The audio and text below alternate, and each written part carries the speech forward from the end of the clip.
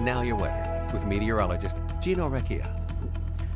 A little bit on the cooler side of things with temperatures in the upper teens and the lower 20s under mostly cloudy skies. I did see a little bit of light flurries and light snow showers earlier in the afternoon, but we're going to be relatively quiet as we head into the overnight. And then tomorrow we'll warm things up. We've got temperatures that are well above average, uh, above normal off towards our west with temperatures rising upwards and near 30 degrees above normal in Sioux Falls. We're not going to get that warm, but We'll certainly get into the lower 30s for tomorrow, so a nice little change in pace.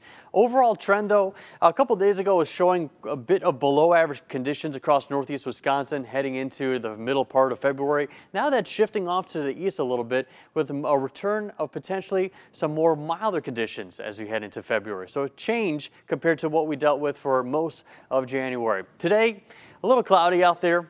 Uh, if you like the clouds, I mean, there you go. You, you, got your, your day out there. But we had some light snow showers. If you're hoping for some sunshine, it looks like Monday is going to be the most sunny of it all with uh, temperatures getting up in the mid 20s, but at least the sun will be out, so get some vitamin D.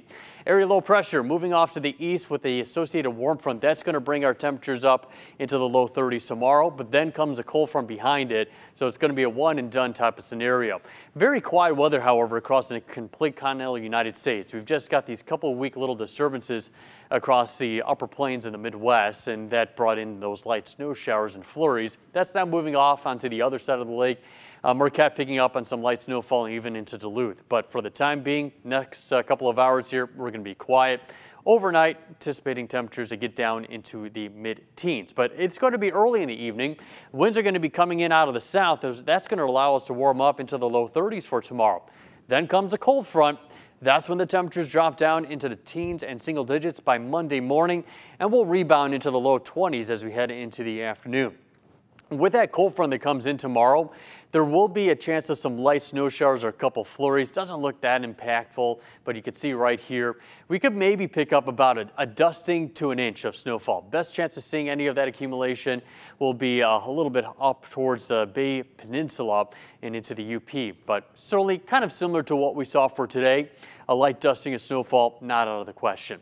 In terms of temperatures right now, teens up in Pembine. We've got 20s along the shoreline from Sheboygan to Ephraim. It's 20 even in Green Bay. It is 18 right now in Oshkosh. Uh, temperatures will drop down into the mid-teens tonight with mostly cloudy skies. Winds coming in out of the southwest. A light breeze, about 5 to 10 miles per hour. Maybe some gusts about 15 miles per hour. Then for tomorrow, getting up into the lower 30s. Some of us might break above freezing. Winds coming in out of the west, 5 to 10 miles per hour.